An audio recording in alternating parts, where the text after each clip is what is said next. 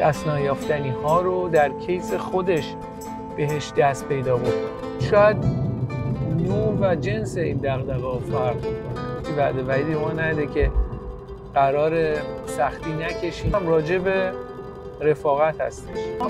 بیشترین نیازهای مشترک رو داشتید انگار این تایم وسطش حذف شده. نیفتاده و همونقدر قلباتون به هم نزدیکه. اینکه رفاقت هم مثل هر عنصر دیگه نیاز به مراقبت ممکنه ما آسیب کمتری بکنیم می‌بینید که آروم آروم ذره ذره اصلا فاصله گرفتی ممکنه که یه رفاقت هایی از بین ببره اینکه بسیاری از این نوع اتفاقات توی دنیای اطراف داره اتفاق میفته و ماها ازش بیخبریم. آیا من برای بهبودی کیفیت زندگی اون کاری از دستم برمیاد؟ صدای بلند فکر می‌کنم و